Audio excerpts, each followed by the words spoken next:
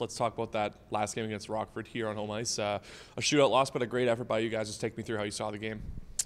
Yeah, obviously a little back and forth there through the first two, and then um, I think just uh, you know really good push pass at the end after going down one with you know five minutes left there. I think uh, kind of speaks to the resilience of the group, um, something that uh, you know we know we have in that locker room, and, and a lot of character in there.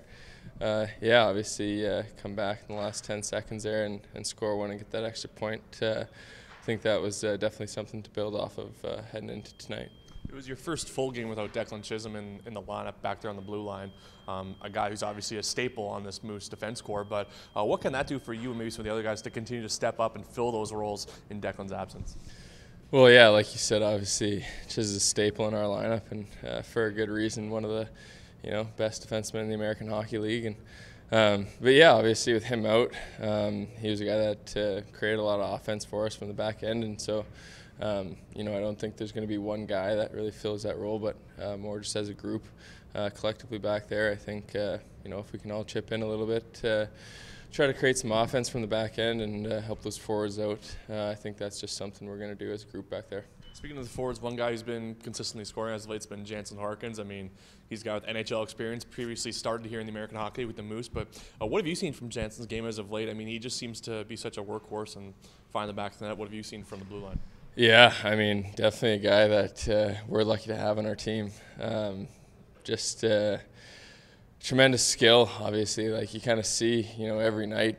Um, he just kind of finds a way to get it done. Um, you know, he's scored a couple late goals for us here in the last two games, and um, you know, I think uh, throughout the season, one thing uh, you know sometimes we've struggled to do is create offense uh, as a group, and he's definitely a guy that uh, you know is a huge piece to that. So.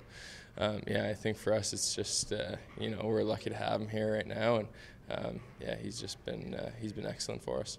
Going down the stretch here yourselves, Milwaukee, Texas, you three seem to be just battling out for those final, or those uh, top three positions, anyways, in the Central Division.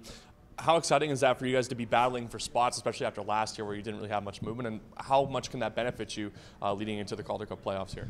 Yeah, I mean, I think that's just kind of where you want to be at this time of the season is, um, you know, in a race for, uh, you know, potentially first, but even even if not first, uh, you know, home ice heading into the playoffs. And so, um, yeah, I think it just it really makes it fun coming to the rink every day. Obviously, we've got the standings uh, up in our locker rooms, and so see that every day. And um, you know, we're we're right there with uh, you know 10 or 11 games to go here, so definitely makes it a little more exciting and, and a little more enjoyable coming to the rink every day, uh, knowing where we're at.